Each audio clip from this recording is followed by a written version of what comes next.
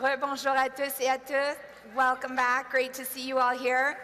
I hope you're all filled up with new information and new ideas, and of course, lunch. I hope you're filled up with lunch. How was lunch?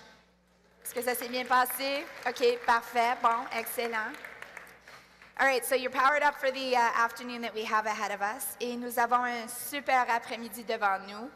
And uh, we're going to get started right away because we do have a very special guest who is joining us. And so, to introduce our speaker, here once again is FCM President Joanne Vanderheyden.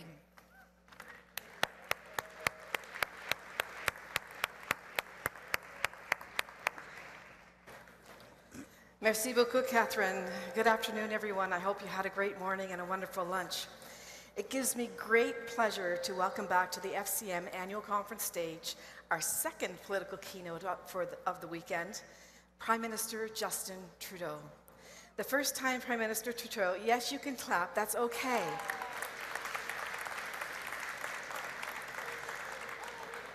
the first time Prime Minister Trudeau spoke at this event, it was 2013, about six weeks after he'd won the party leadership. He's been a steady presence at FCM's gatherings ever since, even joining us last year virtually. We have seen some delegates joining us virtually. Um, we do have some behind us somewhere. I can't see them, but I know they're here.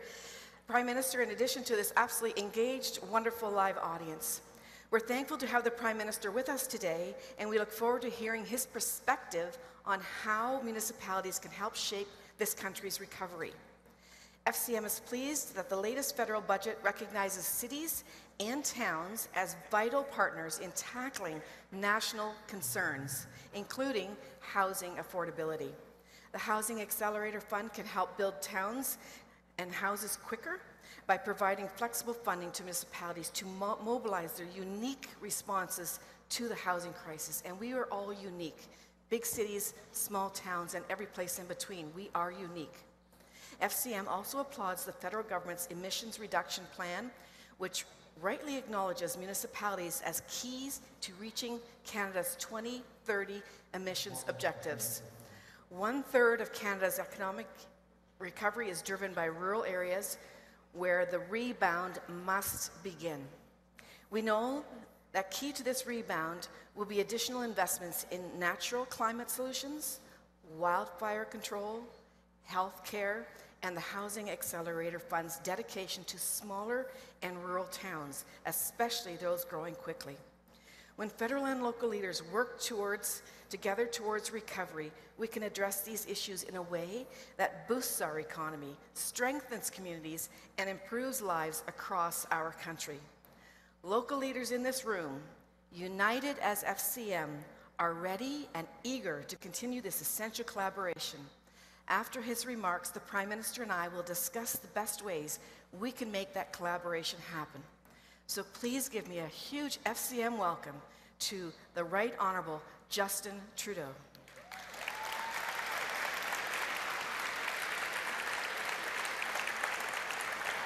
Hello, everyone. Bonjour à tous. Thank you for that applause. Um, I hope the conference is going well in Regina. Thank you, Mayor Masters, for hosting. Uh, I've been to many, many of these, so I know a lot of the conversations happen uh, outside of the big keynotes. Uh, uh, so I really wish I'd been there in person, but I can't make it. But I know in person we've had Minister LeBlanc and Minister Mendicino uh, this week. Uh, earlier today, here in Ottawa, I attended the ceremony to mark the anniversary of the National Inquiry into Missing and Murdered Indigenous Women and Girls met with family members, survivors, members of the 2S LGBTQIA plus community, elders, grandmothers. The federal government is moving forward on our contribution to the National Action Plan to end this tragedy, and I know there are people across your communities who are also working to confront this tragedy. So in this day, I'm uh, glad to be joining you uh, virtually for uh, this big moment. Joanne, uh, thank you for that introduction. It's uh, looking forward to talking with you again. Uh, you took on the role of president of the Federation of Canadian Municipalities at an extremely difficult time, and you've done great work. And the Councillor Rudyk, Taneen, I know you'll be taking on this important role next, and our government looks forward to working.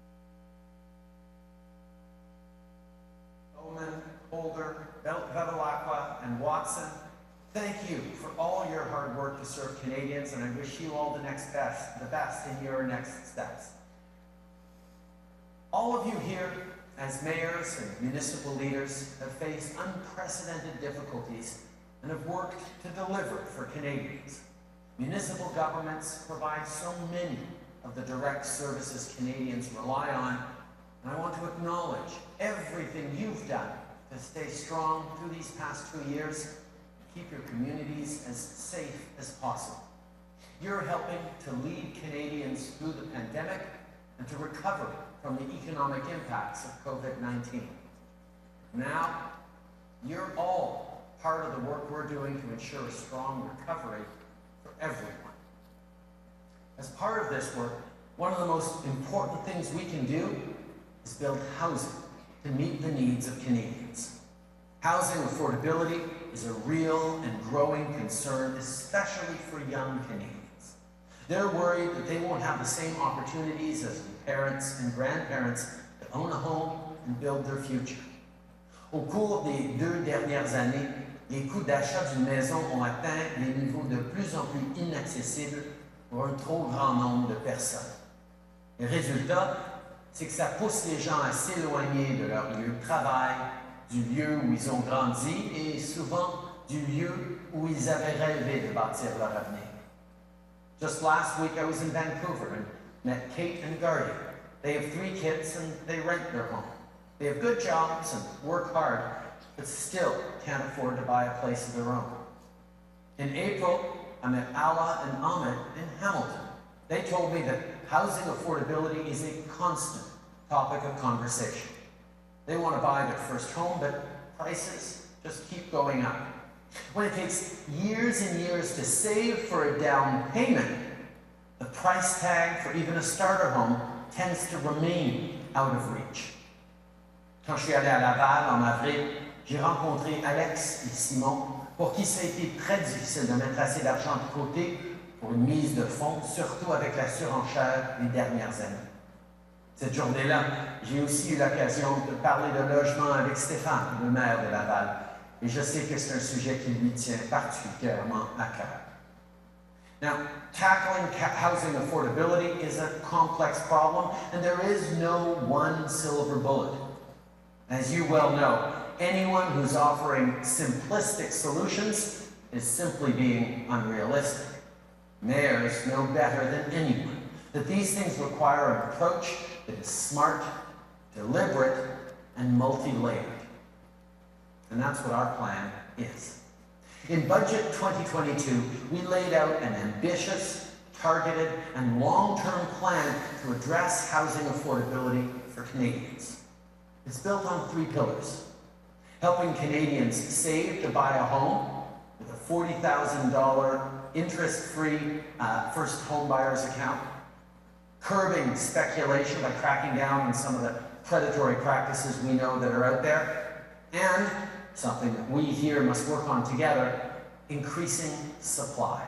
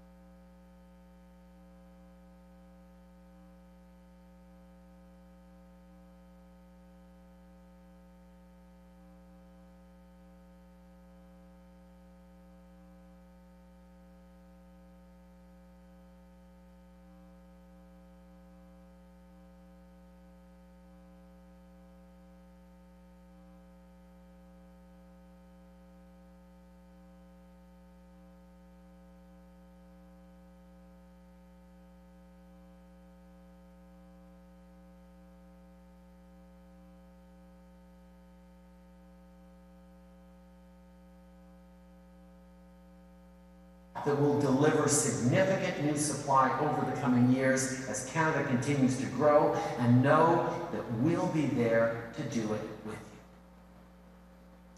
Vous savez de quoi vos communautés ont besoin. Vous êtes les experts. On veut vous aider à éliminer les obstacles et à accélérer les processus qui vont permettre de débloquer l'offre pour que tous les, pour tous les types de logements, y compris les maisons pour premiers acheteurs, les logements locatifs abordables et les logements supervisés. Que ce soit une question de zonage ou de délivrance de permis, ou que vous cherchiez des moyens d'inciter les promoteurs à débuter des travaux, on veut être votre partenaire dans la construction de logements. As we build more homes, and while we help more Canadians become homeowners, we also have to do more to support vulnerable people. Because everyone deserves a safe and affordable place to call home. That's why we've, we've topped up the Rapid Housing Initiative with another $1.5 billion in investments over this fiscal year and next. This program has already created over 10,000 new units, and this new funding is expected to quickly build 6,000 more new affordable housing units. As always, 25% of the funding from this program will guarantee to go towards women-focused housing projects. Le logement abordable peut être un enjeu crucial pour les femmes et les enfants qui fuient la violence familiale, un besoin qui, malheureusement, est devenu de plus en plus évident pendant les confinements. Depuis le lancement de la stratégie nationale pour le logement il y a cinq ans, notre gouvernement s'est assuré qu'un quart de tous les fonds investis dans le cadre de cette stratégie répondent aux besoins particuliers des femmes et des enfants. Et on a pris l'engagement de mettre fin à l'itinérance chronique. Dans le budget 2022, on s'est engagé à continuer de fournir un financement annuel doublé pour appuyer la stratégie vers un chez-soi, notre stratégie de lutte contre l'itinérance. Ces mesures vont offrir plus de certitude aux organisations communautaires locales qui font déjà un travail incroyable dans les villes et les villages. By supporting vulnerable Canadians, unlocking supply, and addressing affordability, we will build stronger communities and a stronger middle class. When we have dynamic communities, we have dynamic economies. We need teachers, skilled workers, and care workers to be able to live where they work. For small business owners to hire locals and serve their neighborhoods. For artists and diverse peoples to celebrate culture with new audiences. For family members of all generations to be able to afford to live close to one another. It's good for families, good for business, good for the labor market, and of course, good for Canada. Making housing more affordable is a priority, and so is making life more affordable. For instance, in less than a year, we reached agreements with all 13 provinces and territories to deliver $10 a day childcare for young families within a few years, with all families having fees reduced by about half by the end of this year. And to make sure your children have the best, yeah, you can applaud that. Yeah, you can. Oh. And to make sure your children have the best facilities to learn and grow in, in the April budget, we introduced a new early learning and childcare infrastructure fund, which will help build new, high quality, affordable childcare in communities across the country. Of course, building infrastructure is a big part of building better communities.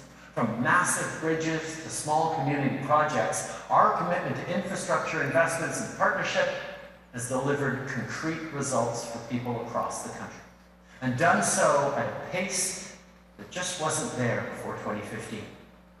Since then, we've made historic investments in infrastructure, investing over $45 billion towards 11,000 projects from coast to coast to coast. We're working with provinces and territories to make sure they have plans to use all available funding to get your projects. And we're working with you to advance priority projects. The federal government, as always, is your partner in this. We want to help you build infrastructure that helps your communities grow in ways that are livable and sustainable. As part of this, we're looking at ways to incorporate infrastructure spending with strategies that help build what Canadians need. That includes looking at ways to leverage public transit investments to build more transit-friendly communities. This not only makes our communities more livable, it keeps our air clean and helps us fight climate change. I know I don't have to tell anyone here why that matters. En tant que maire, vous êtes les premiers témoins des effets des changements climatiques. Quand des tempêtes ravagent vos communautés, les services d'urgence locaux sont les premiers à intervenir. Quand des vagues de chaleur mettent en danger des personnes âgées et vulnérables, c'est vous qui mettez en place des stations de rafraîchissement. Ensemble, on doit s'assurer de bâtir un avenir sécuritaire et des communautés prêtes à faire face aux effets des changements climatiques. We've made investments in wildfire preparedness, in improving and completing flood maps, and over $2 billion towards climate mitigation projects to help your communities become more resilient, including in indigenous, small, and rural communities. But as the climate continues to change, we need a whole of society approach. Le mois dernier, on a lancé des consultations publiques pour la première stratégie nationale d'adaptation du Canada. Cette stratégie va servir de plan directeur pour les communautés et les économies locales. Pendant qu'on lutte contre les changements climatiques en déployant des efforts pour réduire la pollution, il faut aussi construire des logements qui résistent à des étés plus chauds et des infrastructures mieux adaptées aux inondations printanières. Vous avez déjà contribué à orienter nos travaux en matière d'adaptation je sais que vous continuerez tous de participer à ces consultations.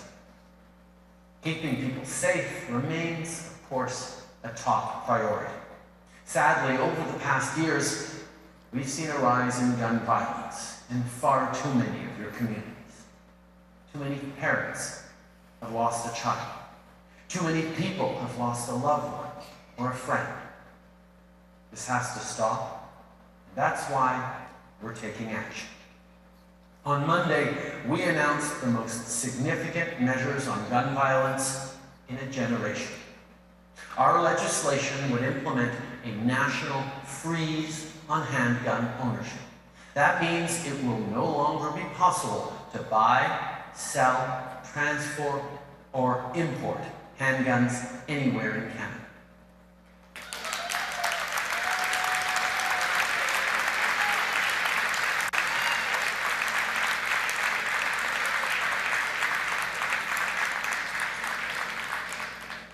Déjà, il y a deux ans, on a interdit plus de 1500 modèles d'armes d'assaut.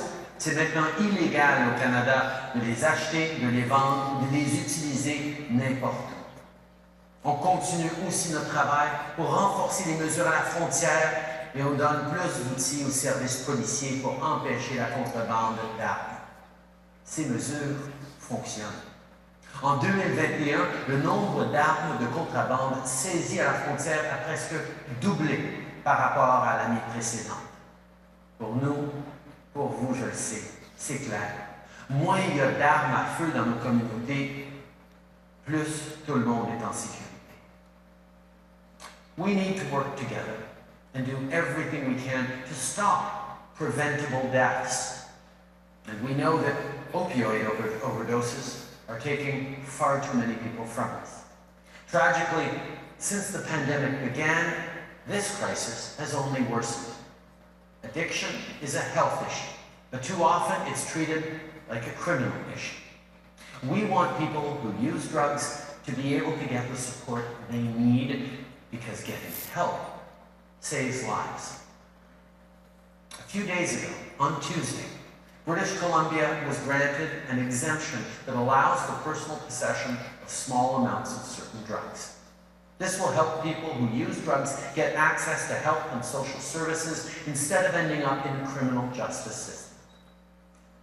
I want to thank Mayor Kennedy Stewart for his leadership on this and As many of you know, these conversations are ongoing with other mayors, notably my friends Mayor Amarjeet Sohi and Mayor John Tory, to move forward on this file elsewhere as well. We all know that science-based, community-based solutions are critically important if we're going to tackle this crisis head-on, but we need to make sure we're wrapping those services around these solutions we put forward. That's why we want to work with you and with the provinces and territories to make sure communities have these tools that help prevent overdoses and get people the support they need. That's how we get through this crisis. Mes amis, on a fait face à de nombreux défis difficiles au cours des dernières années. On a été capable de réaliser beaucoup de choses pour les Canadiens. C'est le moment de continuer à travailler ensemble. Let's build big projects that help us grow. Let's build housing that welcomes new Canadians, younger and older generations, vulnerable people, and more. Let's build safe, healthy, resilient, and diverse communities for our children and grandchildren to grow up in. Let's make sure that together we keep building a Canada where everyone can thrive. Thank you, my dear friends. Merci tout.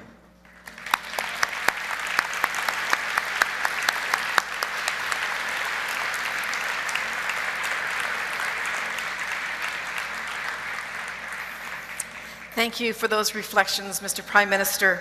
We appreciate the commitment that you've expressed to work with municipalities, and everyone here knows there's lots of work to do together. So I want to just ask you a few questions, if I could, just to drill down a little deeper into some of those things that you were talking about. And the first one is housing. Housing is truly top of mind for everyone these days. And for many in our communities, as you know, there's a growing sense of frustration and even hopelessness as they look for a roof over their heads. Elected leaders across the country are united in tackling the housing crisis as a top priority, and we're advancing concrete and tangible solutions. But every order of government has a role, and real progress will, be, will require getting much better at working together and quickly. Budget 2022 recognized municipalities as an essential partner in solving this shared national challenge and included investments in new tools, as you just mentioned, like the Housing Accelerator Fund and proven programs like the Rapid Housing Initiative. My question is this, how will your government collaborate with municipalities as we work to ensure that everyone has a safe and affordable place to call home in every community? Thank you, Joanne. Um, yeah, I, I talked a lot about it in the speech, but one of the things that has always remained with me is something my, my friend and a strong municipal politician uh, uh, before coming to, uh, to our side of things, uh, Adam Vaughan used to talk about is housing is not just a problem, it's also the solution.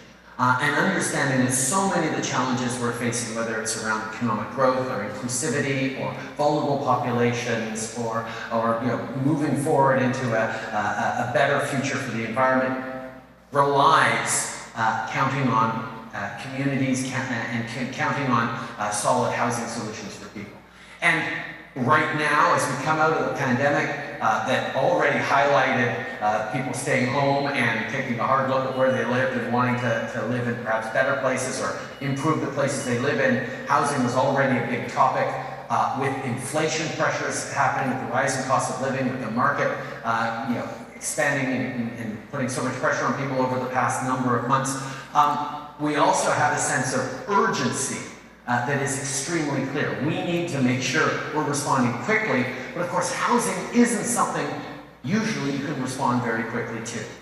Although that's what we're trying to do. You know very well that the Rapid Housing Initiative that we put forward during the pandemic um, actually really uh, responded to some, some pressing needs in a really, really fast way. And we're expanding that because that showed how quickly the federal government and the, and the cities can work directly together. Of course, things work better when we can include the provinces, uh, and we're always happy to bring them in as partners. But when you want to get things done quickly, streamlining as best we can was something we were able to do with the Rapid Housing Initiative.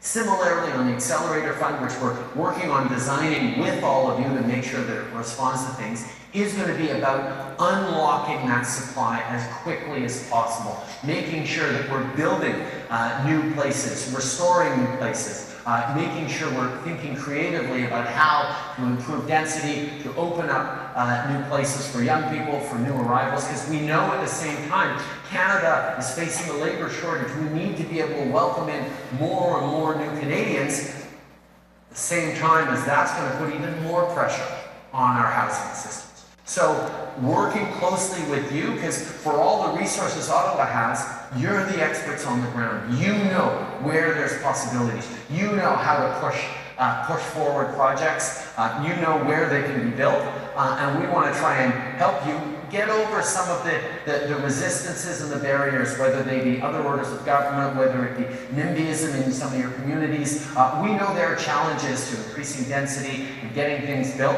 but if we stay focused on getting things built the right way, particularly for low-income and mixed-use families, uh, uh, mixed, uh, mixed-income families uh, use, that's uh, what we've got to get to. Thank you so very much, and we look forward to the new tools and keeping the conversation going and being innovative. So thank you very much. Uh, you mentioned this as well in your, in your uh, remarks. Municipalities are on the front lines of new weather extremes, from the recent devastating floods in, floods in Hay River, Northwest Territories, the Red River Valley, and to the catastrophe of the wildfires in Lytton and surrounding areas last year. Events that threaten people's homes, their businesses, and their lives. Our communities are using all the tools that they have to adapt. But the scale of this challenge requires us to move with more ambition to make our communities more resilient against disasters, ahead of disasters. My question is this What is your vision for investing in local climate resilient infrastructure, building on the, on the work of the Disaster Mitigation and Adaptation Fund, and how can we work together with the federal government to support communities in reducing those climate related risks?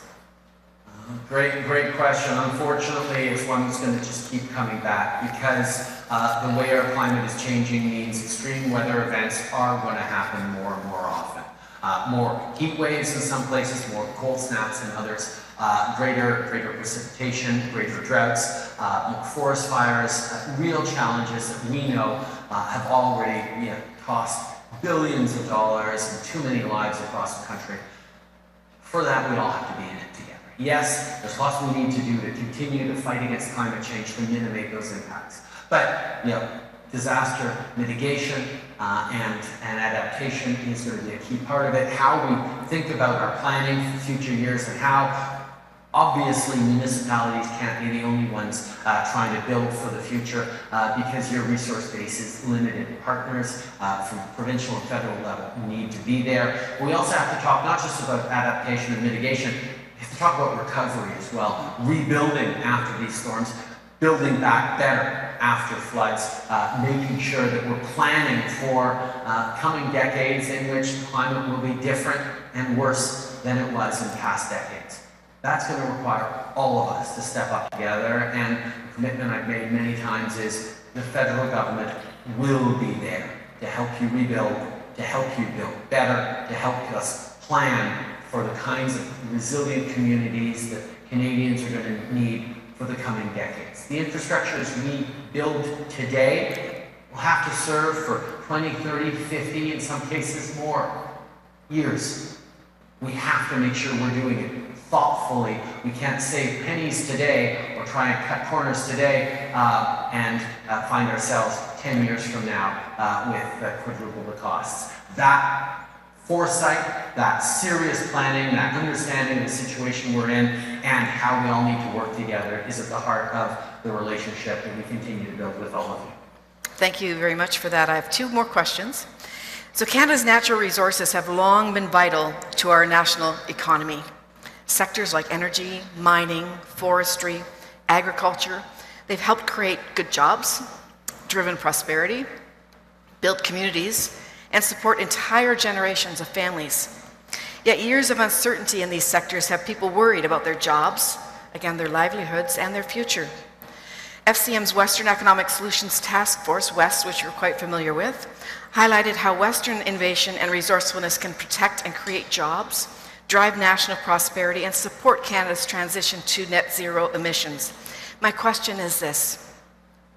How will your government support communities and their residents through a place-based transition to net zero and, and, ensure that regions that depend on the resource sector are a vital part of the conversation about our shared future? No, that, that's a, a, great question, Joanne, and, it, and it's core for this government and for, for so many families and communities across the country. It is fashionable in certain circles uh, to make a contrast between the economy of the future, which is uh, knowledge-based, virtual, uh, you know, reliant on science, technology, and innovation and, and invention, uh, and make that a contrast with a natural resource economy uh, that you know, was part of Canada's past but won't necessarily be part of the future. Well, that's totally wrong. The reality is innovation and knowledge built into our resource economy, which has always been the story. The innovations that uh, Canada has led with through its natural resources, whether it's in energy, whether it's in agriculture, whether it's in mining or any other forestry or any other area, has always been a part of it. Because Canadians are thoughtful and innovative and inventive and practical and figuring out how to be ambitious for themselves, their community, their industry, and their family and their future. So we need to understand that we don't get to a net zero future without a thriving mining sector that is uh, building the critical mineral solution that Canada needs and indeed that the world needs as we're seeing geopolitics of Russia not being a source for critical minerals around the world anymore, China being increasingly uh, unreliable or concerning as a partner to rely on, uh, our friends around the world are looking to Canada to say, wow, you can provide high quality, reliable resources uh, that we know are going to be done in ways that are responsible for the environment, responsible for uh, the families that do the work, uh, but also there to provide for democracies and uh, the, the, the, those who share values around the world. This is an opportunity for Canada to invest and move forward on critical minerals. On energy, it's the same thing. Uh, we know uh, that as the, our energy sector turns towards more and more use of renewables, more and more innovation in things like hydrogen, CCUS, uh, or, or you know, wind, or, or, geothermal, or uh, small nuclear uh, modular reactors. These are things that will draw on the very best of the energy innovators that we've always had, who right now work in the oil and gas sector, but who have the skills uh, to be able to work in these new sectors as well. Uh, a pipeline that carries hydrogen uh, resembles, in many ways, or an LNG plant designed to work on natural gas also works for hydrogen the, the, people who build these things uh, will lead to good jobs uh, in communities right across the country because no matter how smart and educated and advanced we get in our knowledge economy, Canada remains Canada, an incredible country with extraordinary richness in its natural resources. Uh, people who will be there to help feed the world during this food crisis that Russia's illegal invasion of Ukraine uh, has created we need to make sure that we are valuing the place-based work uh, that people are doing in communities across this country that contribute not just to the well-being of cities and, and, and Canadians who, who live in urban centers, but people around the world. And that story is one that we can be incredibly ambitious about and excited about. We just have to engage in a positive way. We know the world is changing. Yes, Canadians have always been there to adjust, to adapt, to innovate, to be ambitious about the future. And that's where I think there's a source of tremendous excitement that we can have about the future we're building for every community, wherever they are across the country.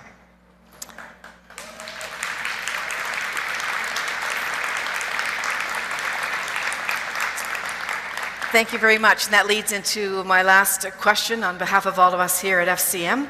From protecting frontline services to ensuring public safety to supporting vulnerable Canadians, intergovernmental partnerships are key to getting Canadians through the worst days of the pandemic. And we work together so well throughout the pandemic, every order of government. So thank you for that.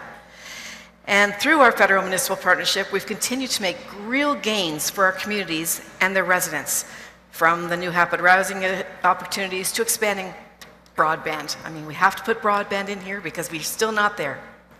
Let's learn lessons from these successes. Building on our federal municipal partnership can help drive a truly strong and inclusive recovery and drive progress on our shared national challenges, because they are shared challenges.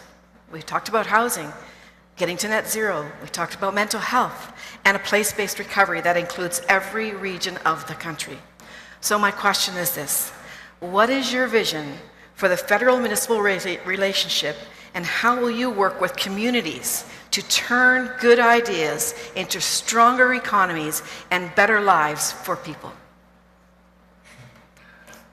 Um, I was trying to count. I, I, think this is my ninth time at FCM uh, and giving a, a keynote speech. I think therefore it's the ninth time I've been asked, so how are you going to work with municipalities to advance the future of Canada? And part of the answer is I keep coming back to engage and to answer this question. Obviously every year it evolves, uh, every year we face new challenges. But I think uh, every year I say the same thing. We can't build a strong Canada without working closely in partnership with municipalities. It is unbelievably important. You know, and there's, yeah, there's, there's so many directions I could take this question. The one, the one that I, I keep sort of smiling at is, if you want to stretch a dollar really far uh, in your communities, you go to uh, the local community uh, nonprofit organizations who manage to take minor donations and do so much good in the communities, uh, so much more than uh, often governmental organizations can do. But similarly, if you want to have the biggest impact in people's lives, I find that municipalities are such careful and responsible stewards of every single dollar they get because you have such a challenge on raising resources and so dependent on trying to fight for every dollar that comes into you from uh, provincial and federal levels uh, that you have to be incredibly creative and in general incredibly responsible and responsive to the needs of citizens. So for me, working directly with municipalities is one of the best ways to get things done. And I think uh, a lot of you, I mean, Honestly, FCM exists for a relationship between the federal government and municipalities. So because there's no one from the provinces in the room, we can sort of talk straight here for a second. Sometimes there are challenges uh, in working with the provinces to deliver things. And I know that you're always uh, saying, okay, can you just send money directly to us and we'll go for it, whether it's the, you know, $4 million the gas tax transfer or uh, other things that I know you guys love.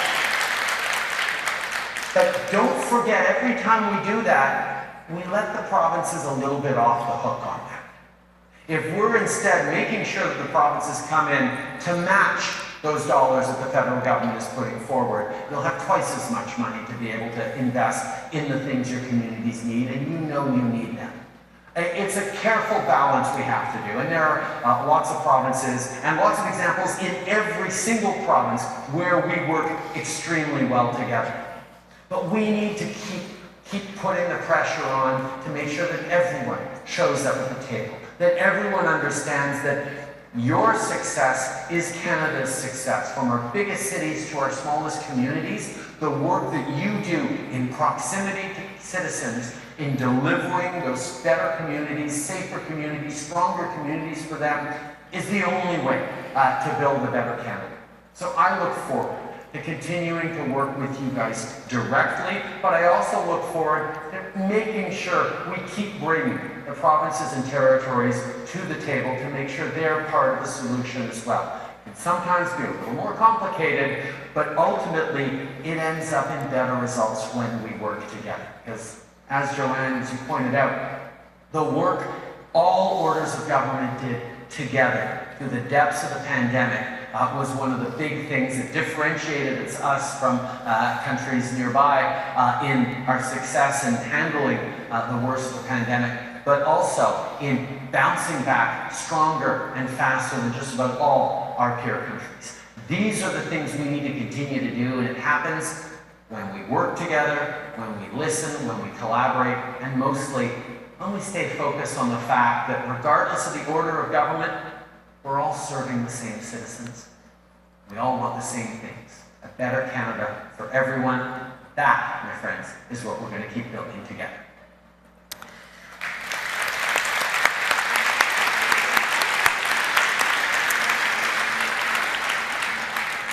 Merci beaucoup, Monsieur le Président, Premier Ministre. Like never before, the past two years exposed and highlighted our most pressing national challenges. They also reminded us that when federal and municipal, municipal leaders work together, we can face these challenges more effectively. And I'm going to leave you with one line. Communication is paramount. Investment in municipalities is also paramount. Thank you for your time. We really appreciate you being here with us. Thank you all so much. Really wish I was able to be there with you all. Enjoy the rest of the conference. Hassle my ministers. They're there to be hassled by you. Uh, and uh, we'll make sure we all keep working together.